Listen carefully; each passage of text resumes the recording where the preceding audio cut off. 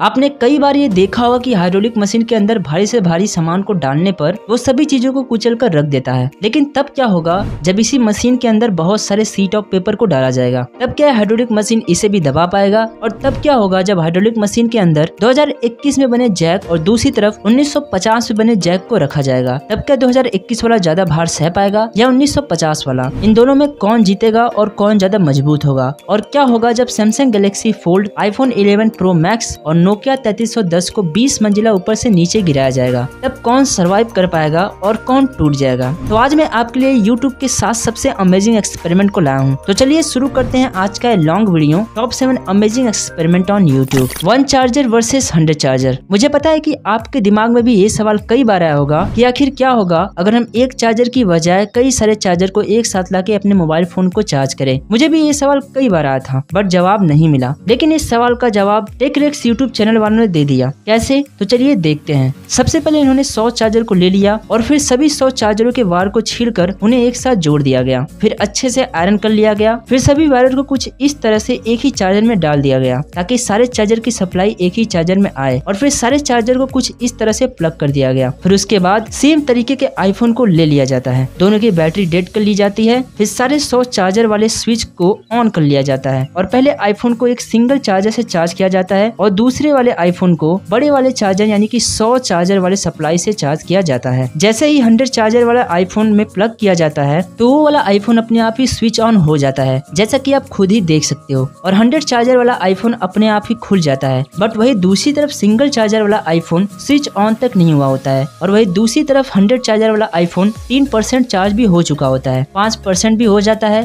लेकिन single charger वाला iPhone अभी खुलता तक नहीं है। और जब इसको हाथ से स्विच ऑन किया जाता है, तब जाके स्विच ऑन होता है और खुलने पर ये दो परसेंट चार्जर पर होता है, जबकि हंड्रेड चार्जर वाला आईफोन सात परसेंट तक हो चुका होता है। धीरे धीरे समय बीतता है और जैसा कि आप खुद भी देख सकते हो कि हंड्रेड चार्जर वाला आईफोन जब फिफ्टी परसेंट पर हो जाता है, तब सिंगल चार्जर वाला आईफोन थर्टी नाइन परसेंट पर होता है। यानी कि सिंगल चार्जर वाला आईफोन काफ़ी कम रफ्तार से चार्ज हो रहा है और हंड्रेड चार्जर वाला आईफोन काफ़ी फास्ट तरीके से चार्ज हो रहा है। लेकिन ट्विस्ट तो तब आती है जब जैसे ही दोनों नाइन्टी के ऊपर पहुँचते हैं, दोनों की चार्जिंग स्पीड एक समान हो जाती है, जहाँ हंड्रेड चार्जर वाला आईफोन 97 होता है, वह सिंगल वाला आईफोन 93 तक चार्जिंग पहुँच चुका होता है। यानी पहले तो हंड्रेड चार्जर वाला आईफोन काफ़ी स्पीड से चार्ज होता है बट लास्ट तक आते आते दोनों की स्पीड ही एक समान हो जाती है। IPhone 11 versus Nokia 3310 versus car दोस्तों कार काफ़ी भारी होते हैं और उतने ही कठोर उनके टायर भी होते हैं। अगर इनके नीचे कोई आ जाए तो उसका भरता बन जाता है। लेकिन क्या होगा, जब आईफोन 11 और नोकिया 3310 को इसके अंदर रखा जाएगा, क्या ये कार इन्हें भी क्रश कर पाएगी या फिर नहीं? चलिए देखते हैं। तो सबसे पहले आईफोन 11 को इसके टायर के नीचे रखा जाता है और कार को चलाया जाता है। पहले तो आईफोन सीधा होता है, लेकिन फिर गिर जाता है। इसलिए कार उसके ऊपर से ही चली जाती है और जब आईफोन को देखा जाता है, तब उसके पिछले वाले हिस्से का भरता बन गया होता है और उसमें क्रैक भी आ चुके होते हैं। ओवरऑल आईफोन कुछ ऐसा दिखता है। फिर अगली बार नोकिया तैतीस के इसके अंदर रखा जाता है और कार को इसके ऊपर से गुजारा जाता है। तो नोकिया भी उल्टा होने की वजह से ज़मीन पर गिर जाता है और कार उसके ऊपर से चली जाती है, जिसकी वजह से नोकिया का पीछे का हिस्सा टूट जाता है। लेकिन जब उसे देखा जाता है, तब वो काम कर रहा होता है और ओवरऑल वो कुछ ऐसा दिखता है। Hydraulic machine versus sheet of papers hydraulic machine के बारे में तो आप सब जानते ही होंगे, जिसके सामने भारी से भारी चीज़ें भी फेल हो जाती है। जैसे कि आप इस चार के वाले बाल को ही देख लो, जिसको हाइड्रोलिक मशीन के अंदर रख कर उसे हाइड्रोलिक से दबाया जाता है, तब वो भी टूट कर अलग अलग हो जाता है। और जब एक इंसान के बोन्स को इसके अंदर रखा जाता है, तब ये बोन्स को भी छोड़ता नहीं है और उससे भी तोड़कर अलग अलग कर देता है। फैक्ट ये है, इंसानी बोन्स को पत्थर से भी ज़्यादा मज़बूत माना जाता है और हाइड्रोलिक मशीन इसे भी चूर चूर कर देता है। अगली बार दोबारा से एक मीटर रॉस को इसके अंदर रखा जाता है और उसे दबाया जाता है। तब हाइड्रोलिक के प्रेशर लगाने पर रॉड भी धीरे धीरे मुड़ने लगता है और फिर बहुत ज़्यादा प्रेशर लगाने पर लोहे का रॉड मुड़कर बाहर की तरफ़ फेंका जाता है। तो आप समझ ही सकते हो कि हाइड्रोलिक मशीन कितना पावरफुल होता है। लेकिन क्या होगा, जब इसी हाइड्रोलिक मशीन के अंदर बहुत सारे सीट ऑफ़ पेपर को डाला जाएगा, क्या हाइड्रोलिक मशीन इसे भी पहले की तरह कुचल देगा या फिर कुछ और होगा? चलिए इस एक्सपेरिमेंट को देखते हैं। तो सबसे पहले एक हज़ार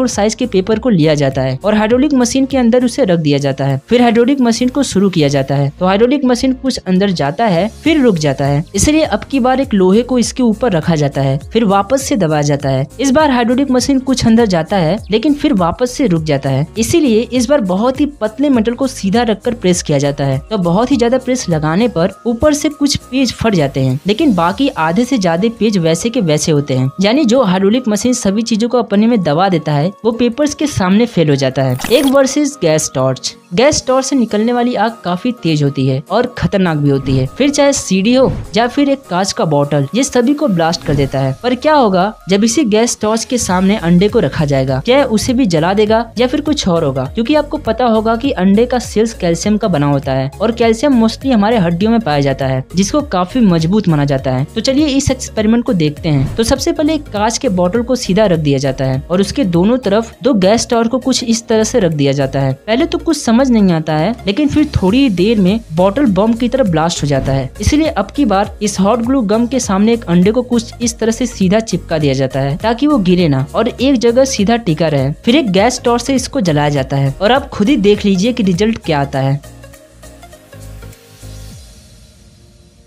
Giant hammer versus 50 M M bullet proof glass bullet proof glass कितना ज़्यादा मज़बूत होता है, ये मुझे आपको बताने की ज़रूरत नहीं है। लेकिन क्या बुलेट प्रूफ ग्लास को इतने भारी भरकम हैमर से हिट किया जाएगा, तब क्या है बुलेट प्रूफ ग्लास इसको संभाल पाएगा या फिर कुछ और होगा? हम सब ये तो जानते ही है की बुलेट प्रूफ ग्लास का काम बुलेट को रोकना होता है और एक नॉर्मल पिस्टल से निकली गोली की speed approx three metre per second होती है। तो वहीं ए के फोर्टी से निकली बुलेट की रफ्तार अप्रोक्स 700 मीटर पर सेकंड होती है। तो हम बुलेट की स्पीड तो काफ़ी अच्छे तरीके से जानते हैं। तो चलिए इस एक्सपेरिमेंट को देखते हैं। इस एक्सपेरिमेंट को मिस्टर इंडियन हैकर के द्वारा किया गया है। सबसे पहले कुछ इस तरह से कई सारे ईटों को एक के ऊपर एक रख दिया जाता है और इस पे दो बुलेट प्रूफ ग्लास को रख दिया जाता है। और सबसे पहले इस बड़े से हैमर से हीट करने का फैसला किया जाता है और इस बड़े से हैमर से इसको हीट किया जाता है। और हीट करने के बाद जब इसे देखा जाता है, तब ऊपर वाला ग्लास बिल्कुल सेफ़ होता है, लेकिन नीचे वाले में क्रैक आ जाता है। लेकिन कोई भी ग्लास टूटता नहीं है, इसलिए अब की बार, दूसरी बार उसी हैमर से ज़ोर से हीट किया जाता है। और हीट करने के बाद जब वापस से चेक किया जाता जाता है, तब वही पहले की तरह ही इसका हाल होता है। पहले वाले ग्लास को तो कुछ भी नहीं होता है, जैसा कि आप स्क्रीन पर भी देख सकते हो, लेकिन दूसरे वाले में क्रैक आ जाता है। सबको लगता है कि शायद ईटे इतने ऊँचे होने की वजह से ग्लास नहीं टूट रहा है, इसलिए एक एक ईटे को हटा दिया जाता है और दोनों को वापस से रखा जाता है और इस बार हैमर के नोक वाले हिस्से को ग्लास के सामने रख कर हीट किया जाता है, यानी कि इस बार फोर्स ज़्यादा लगती है। लेकिन हीट करने के बाद जब इसे चेक किया जाता है, तब इस बार भी ग्लास नहीं टूटता है। और हैरानी की बात तो ये होती है कि पहले वाले ग्लास को कुछ होता ही नहीं है। इसलिए इस बार उसी सिंगल ग्लास को रखकर हीट किया जाता है। लेकिन फिर भी उसे कुछ नहीं होता है। Drop in Samsung Galaxy Fold versus iPhone 11 pro max versus Nokia 3310 दोस्तों, क्या होगा जब एक आईफोन को 20 मंजिला ऊपर से नीचे गिराया जाएगा? और क्या होगा जब उसी जगह से नोकिया 3310 को नीचे की तरफ़ गिराया जाएगा? क्या इस बार नोकिया सरवाइव कर पाएगा? तो चलिए इस एक्सपेरिमेंट को देखते हैं। तो इस एक्सपेरिमेंट को एक बार फिर से टेकरेक्स यूट्यूब चैनल वालों ने किया है। तो सबसे पहले आईफोन 11 प्रो मैक्स को लिया जाता है और आप खुद ही देख सकते हो, ये बिल्कुल नया और फ्रेश होता है। फिर उसे 20 मंजिला ऊपर से छोड़ दिया जाता है। जैसे ही फ़ोन को छोड़ा जाता है, वो सीधा जाकर नीचे की तरफ़ गिरता है। और फिर जब नीचे जाकर इसे चेक किया जाता है, तभी फ़ोन ज़मीन पर पड़ा होता है। लेकिन उसका स्क्रीन आप देख सकते हो कि स्क्रीन डैमेज हो चुका होता है बट वो काम कर रहा होता है। और जब पीछे की तरफ़ किया जाता है, तब ये पूरी तरीके से डैमेज हो चुका होता है। अब की बार सैमसंग गैलेक्सी फोल्ड को उसी जगह से नीचे की तरफ़ छोड़ा जाता है। लेकिन उससे पहले आप देख सकते हो कि फ़ोन एक्चुअली में बिल्कुल नया फ़ोन होता है और अच्छे से काम कर रहा होता है। फिर इसके बाद इसको भी उसी जगह से छोड़ा जाता है और फ़ोन सीधा नीचे जाता है और सीढ़ियों से टक्कर खाकर दूसरे साइड में फेंका जाता है और फिर जब फ़ोन के पास जाया जाता है, तब उसका स्क्रीन ग्लो कर रहा होता है, लेकिन सिर्फ़ एक ही पार्ट ग्लो कर रहा होता है और जब इसको क्लोज किया जाता है, तब इसके पिछले का हिस्सा पूरी तरीके से डैमेज हो चुका होता है। अगली बार नोकिया तैतीस को उसी जगह से नीचे की तरफ़ छोड़ा जाता है। उससे पहले फ़ोन को आप देख सकते हो कि वो पूरी तरीके से काम कर रहा होता है और फिर इसको भी वही से छोड़ दिया जाता है और छोड़ने के बाद जब नोकिया के पास जाकर उसे चेक किया जाता है, तब उसके सारे पार्ट्स अलग अलग हो चुके होते हैं, और फ़ोन की बैटरी भी इसमें से कहीं निकल चुकी होती है, और कवर पर भी क्रैक आ चुका होता है। New jack versus old jack दोस्तों, क्या होगा जब जो हज़ार